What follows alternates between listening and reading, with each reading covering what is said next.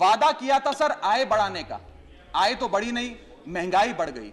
और सर, बढ़ती महँगाई और घटती कमाई के चलते आज देश को आधार कार्ड की नहीं, उधार कार्ड की ज़रूरत पड़ रही है। देश के आम आदमी को उधार कार्ड की ज़रूरत उधार card when you hear it as opposed to Aadhaar card it's very appealing but we should not mock the small borrowers going to the bank under Mudra loan KCC, crop loans being taken, MSMEs are coming under ECLGS, and also Mudra, and also other small loans which many of the small business retail loans that they take.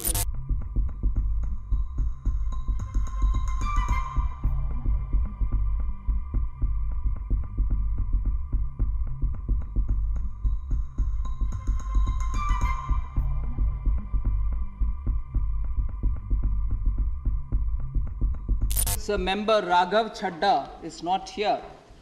Uh, I just want to highlight that he said underestimated BE numbers and mismanagement of budgetary allocation. I thought I've addressed this, but I just want to highlight the fact again that after the global financial crisis 2008-9, 20% of the original budget came as supplementary demand for grants.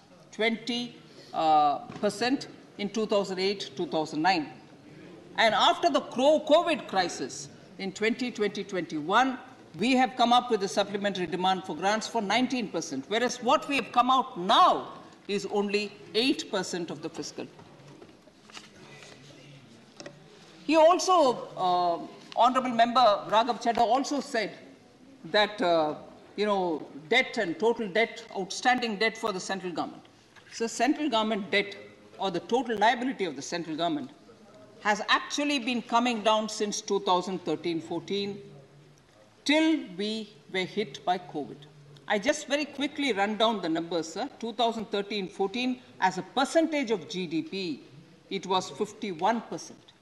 14-15 saw it come down to 50.1, 50.2 the next year, 48.7 next year, 48.5 the next year, 49.0 the next year, which is 2018-19. But post-COVID, sir, it went up to 52.4, which was drastically brought down, 52.4, 61.6, but which was brought down to 58.7. It is coming down even as we speak. So we have been careful about the borrowing and also the liability of the central government. Sir, Member Raghav Chadha has also been saying things about inflation and uh, in a very colloquial and also very populist way, he said, what is Aadhaar card?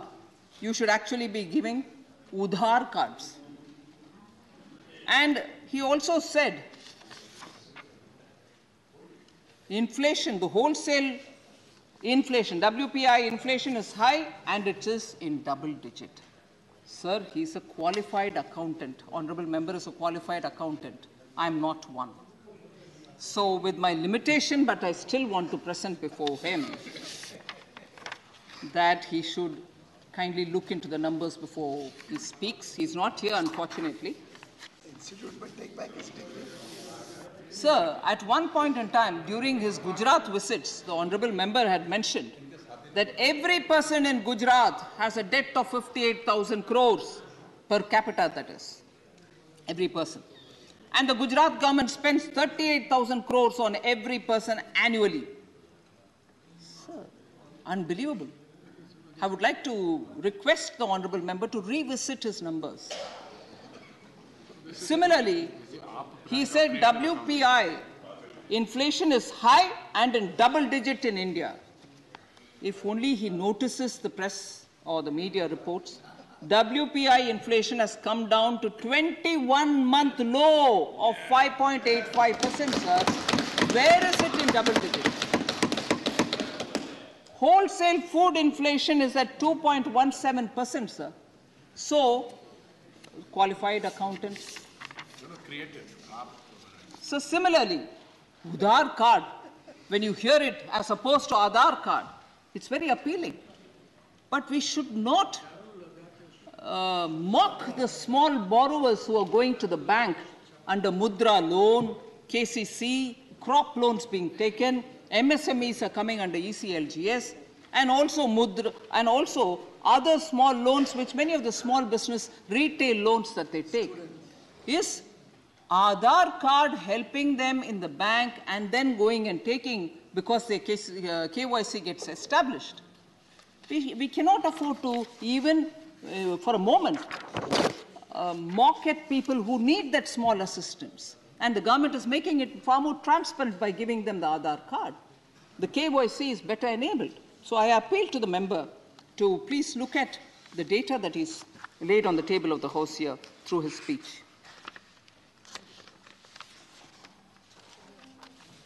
So also, the interesting debate which is going on now, your freebie versus my freebie.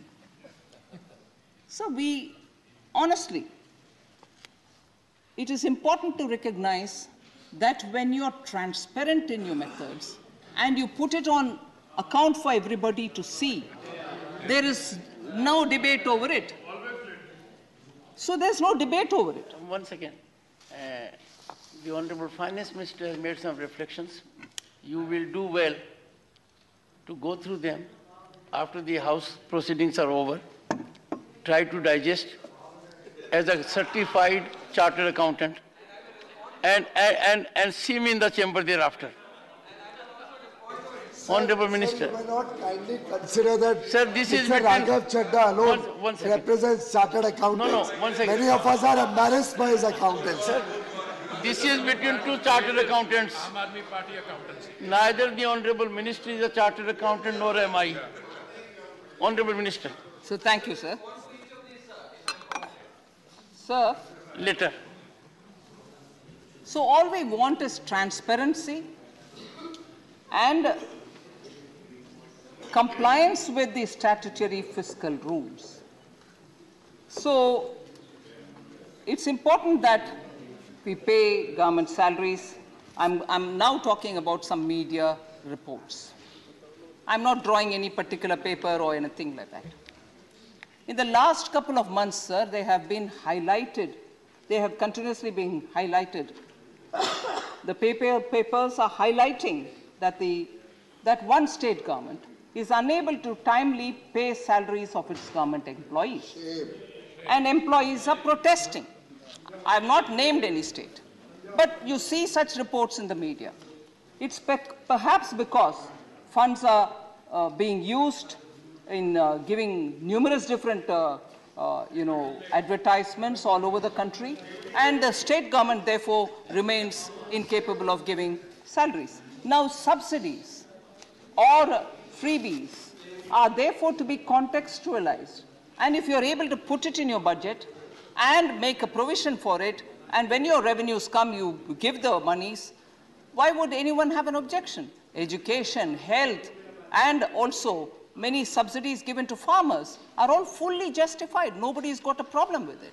So I just want to highlight that many of these things will have to be contextualized rather than us quickly, you know, uh, trying to gain one or the other brownie point.